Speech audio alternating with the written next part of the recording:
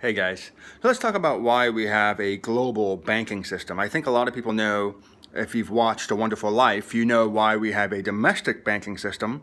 Um, but why do countries need to make loans to other countries? Um, why do we even have something that, that allows us to make loans across borders when usually when we watch a movie, we know that typically the life of a bank um, or a bank teller or a bank loan officer is dealing with human beings, dealing with domestic people who come in who want to balance their checkbooks, um, who need to, who need to get, a, to get a small business loan of some sort, um, and, and, and then of course you know you can sort of work your way backwards and think about things like credit worthiness and why we have something called a FICO score, um, and you know ultimately the bank becomes the center, um, the sort of the central engine of the economy.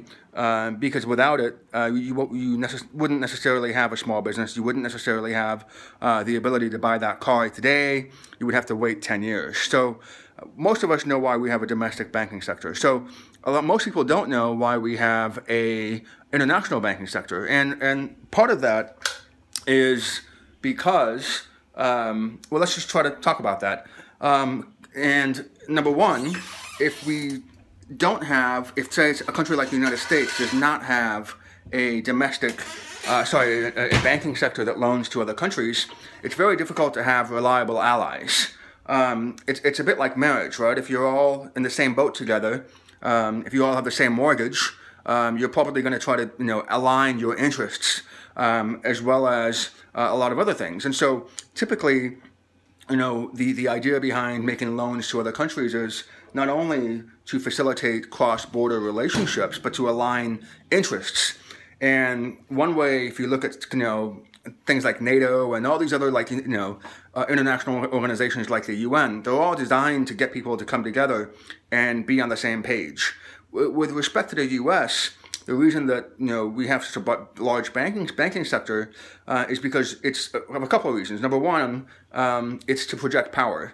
Um, and you know, number two is to project, it's, it's essentially it's to prevent other countries, other competition from coming in um, and, and essentially taking up you know, space that would otherwise be, or that could otherwise be used for American products. So number one, project power. Number two, you know, you know, the U.S. only has about four or five percent of the world population, and so we spend a lot of money on innovation. A lot of that innovation necessitates debt and most of it in the past has been done by the government. You know, you can think like NASA, um, uh, you know, land, and so on. But now private companies are becoming as credible, if not more so, than governments. And so a company like Amazon cannot make a profit um, for quite some time. And essentially, you know, suddenly it's, it's not just selling books, it's going into space.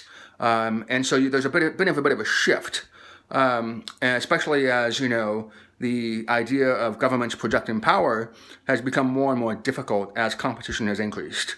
Uh, there's lots of ways of dealing with that competition. One of them is tariffs, um, and uh, but we, that's a different discussion. So number one, project power, uh, and number two, you know, try to recoup a lot of the investment that you've made, especially if you have a small population, try to recoup that investment you've made in, in innovation by selling the innovation to other countries. And so you're a business, you, you know, let's keep, keep the numbers small. There's a $1 million loan, and ultimately what you do is you, you know, take out a million dollar loan, you invent this beautiful app. And if you're only able to sell the app within your own country, uh, it might be very difficult to you know recoup that or pay back the loan or, you know be, or even make a profit. And part of that reason of course is you know even in the US even though the US does have 4 or 5 percent of the world population uh, within the US only about half the population has more than 600, 600 or 700 dollars in a bank cash. Um, even one of the one of the latest um, representatives, I think, has seven thousand dollars in a bank, but she also has, at the age of twenty nine, between uh, between fifteen and fifty thousand dollars in student loans, um, apparently. So um, ultimately, you know, we're, in a position where you know you've got this idea where you know you want to project that. Not only you know, an, an app is a, a, a kind of a silly example because in the past, post World War II, um, you know, the export would be bridges. It would be QA, quality control um, metrics and processes. It would be things that would make the country better. And that's why today, uh, you know, you go to Japan, it's a better country uh, obviously, than 1945, but it's also, a, at least with Tokyo, uh, it's also a better city than most American cities. You go to Germany, same thing um, in terms of public infrastructure. Uh, the train system is so good that almost nobody flies. And as a consequence, Air Berlin has gone bankrupt because the train system is, is so good. Um, part of me thinks it's that train system is so good for you know many reasons, many of them tragic. Uh, but it's also the same situation um, in in the UK. You go to London again, public infrastructure, not just in uh, the public transportation system, but in the NHS, the healthcare system. So. Number one, project power because if you don't sell that app or you don't sell that, you know, uh, uh, let's take, let's take Facebook. If, if Facebook does not go into a neutral country, uh, then maybe it's WeChat that comes in and suddenly that, that first mover advantage uh, takes over that country and then some other competition can't come in. And suddenly you're dealing with trying to infiltrate a market uh, and trying to expand and pay off your debts. Uh, but without, you know, now you've got this massive competition going on. And that, again, all, it all goes back to projecting power, um, and also trying to pay off your own debt. So it's a, it's a two-way street, as we've seen when it works with Japan, Germany, and the and even the UK, which was bankrupt in 1945, even though it technically won, it was one of the winners of World War II. Um, with, with, respect to projecting power, it's, it's, a two-sided coin uh, because if you try to project it too much, like the Soviet Union, and you overextend yourself, and even if you do end up building trains that are still used to this day and, and, and escalators that are still used to this day, um, you know, if, if, if it's too much money and, and the people in the in these other countries that are essentially satellites of your system, of your economic and and security system, if there's not enough of a uh, of a method to pay back the money or the workers, then you kind of have this different, then you kind of have a system, right? And that's really what it comes down to. Do you want to have a private sector that creates a, a, a investment opportunities, especially in the private sector that allows the payment of these loans? And, and what I like to tell uh, myself when I try to explain the differences between a Soviet system and, and a Western system is, you know, obviously this is a very simple way of looking at it, but, you know, one of them is, is like accounting on a cash basis. Uh, you know, you, you don't have these fancy shenanigans in accounting uh, with GAAP or pro forma. You just sort of make the loan, you get the you get the infrastructure done, and then you know you essentially extract natural resources from this other country to pay you back. Um, and you know, they don't, you don't have all these, you don't necessarily have a need for a massive banking system. Um, and, and, therefore you don't have a, a, system like, you don't have, the, you don't have the ingredients for a, you know, sort of widespread 2008, 2007, 2008, 2009 boom bust cycle. But of course, if you have um, less regulation under the Western system, um, you have a lot of different comp- comp- you know, competitors. What's strange uh, so obviously the tax receipts that go into paying back all these loans you've taken out, uh, they're uneven. And so you try to, you have to borrow money from abroad in order to, in order to smooth things over um, as you eventually pay off the loans. So the idea behind a country uh, a country's credibility is that you know countries are technically infinite. They have an infinite lifespan. That's not true. Germany, uh, the German government probably did not pay back its you know uh, the loans under the Weimar Republic. I, I, I don't know, but uh, you know the idea really is you know if, if you're in Singapore like I am now, you know why would somebody take out a loan in Singapore? It's a tiny country. Uh, and the, one of the reasons that people do think that this country is very creditworthy, even even despite the passing of its you know incredible prime minister LKY, uh, is because it's linked to a Western finance system uh, that that tends to project power. Now, if one day the U.S. wakes up and says, uh, you know, in, in, the morning and just decides, you know, we don't want to support Singapore, um, you know, Singapore still has a lot of money in a in a sovereign wealth fund. Um, but the question is, you know, it's no longer tied to this sort of infinite lifespan uh, because of, of, of, of, its small size and its, you know, sort of a its, its necessity for a trade with international, um, with just international trade.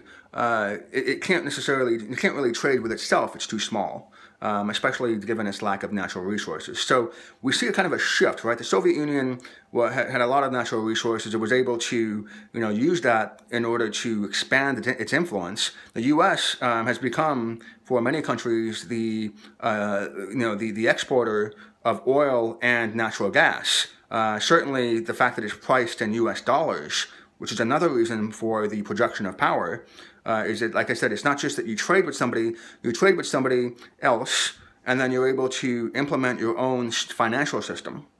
That's the key with global trade. That's why I'm sitting here in Singapore and I've got access to Scottish jam Um, there's no reason for me to have access to this jam unless this country is on a Western-based system, and I don't have, unfortunately, I don't have access to, um, you know, Russian sort of uh, waters. They have it. I don't have access to it.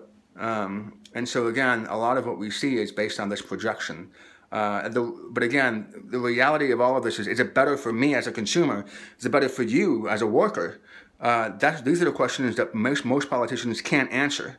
Uh, these are very complex questions post World War II, when all these agreements don't seem to be working out very well for people at the very bottom, um, unless they want to go in debt um, and achieve a kind of a debt slavery uh, which is a criticism of the Western system, is that you do have this banking sector, uh, but all it's really doing is, is expanding a slave-based economy uh, to the extent that you don't own your own house until you've worked for a bank for 30, for 30 40 years, or 15 or 30 years. So there's a lot of criticisms on that side, and the real question is how do you fix the problem uh, you know, without increasing segregation, without having, say, a social credit score, uh, which is what China is rolling out. Uh, because these these are you know without having you know total surveillance with um, and trying to use all this technology that's now abstract and digital. Um, how do you export all of that, uh, especially when so much of it is, is based on security, uh, which is also based on surveillance? And this is a which is again completely different from say building a bridge, building a train system, building a healthcare system, uh, city planning, uh, what works, what doesn't work. Uh, the more you go into the abstract, the more it becomes, you know, the more that debt, you know, necessitates a big picture viewpoint. And the more you become, the easier it is to become distant from the people at the very bottom of the pyramid, who, again, are the ones building the pyramid. And anyway, I don't have the answers, uh, but I think it's very important to understand why a global banking system is so important. Um, you know, it, it, allows again the projection of power, um, which should which should facilitate uh, peace uh, because it, because it, it aligns interests. Um, that's again the number one reason, but also it's based on it's, it's because of competition. Um, you know, it's based on innovation. How do you you know how do you justify taking out a lot of loans um, if you're if they're not going to be paid back? And one way you pay back loans is you export something, um, especially if you don't have a, an economy that has a lot of natural resources. Uh, so, you know, you have to have, you know, alignment between the banking sector and the government and private corporations in order to facilitate innovation uh, and then eventually to export that to other countries that don't have something that you that, that would benefit from this innovation uh, that would then again allow both sides to benefit uh, from an overall security economic framework. Um, so the idea again behind all that is the foundation is creativity and innovation. And the question is whether that creativity, that digital creativity and, and innovation, the stuff that we can't touch anymore, that we've, we've invested trillions of dollars into, uh, whether or not that is um, a viable path forward uh, post-World War II. Uh, and uh, Joshua Ramo, um, has a book on this. And again, he, he talks about creativity and innovation being the drivers of human progress based on something called a social, sorry, a caring economy. Uh, it's something that's worth looking, looking into, but ultimately the question is how do you maximize innovation and how do you maximize creativity if all this digital infrastructure is taking away things like privacy? And these are all big, big questions that go back into why we have a global banking sector.